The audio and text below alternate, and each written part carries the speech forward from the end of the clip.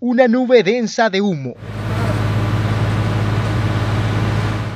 Era observable en uno de los centros de acopio ubicados sobre la tercera calle poniente de la ciudad de San Miguel. Ahí, cuerpo de bomberos sofocaba las fuertes llamas que la provocaban, pues un fuerte incendio había sido registrado desde tempranas horas de la madrugada en ese lugar.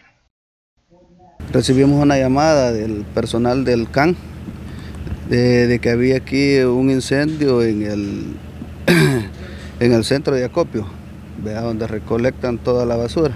Entonces al hacerlos presente al lugar vimos de que prácticamente ya estaba completamente incendiado y, y peligraba con propagarse hacia la, unas viviendas aledañas, por lo que comenzamos las labores de cortar el avance del fuego, resultando una vivienda aledaña eh, dañada, dos habitaciones. Al ser un centro de acopio, la recolección de basura no puede detenerse.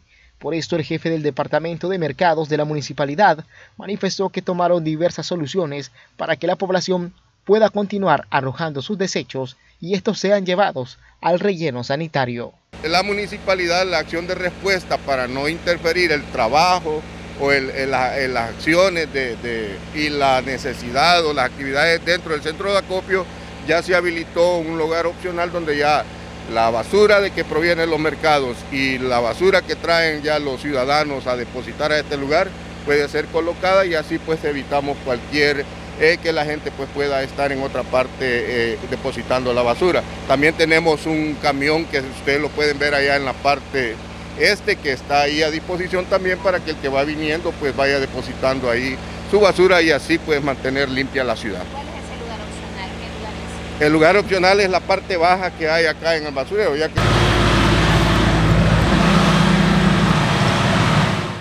Vale mencionar que la municipalidad también contribuyó a sofocar este incendio, enviando de inmediato una de sus pipas, apoyando así a Cuerpo de Bomberos, quienes hasta el cierre de esta nota no habían identificado la causa de este incendio. Es importante destacar el arduo trabajo del Cuerpo de Bomberos acá en ese lugar, pues gracias a su efectiva respuesta se pudo evitar una mayor catástrofe. Con imágenes de José Zelaya, Emanuel Boquín, Noticiero TVM.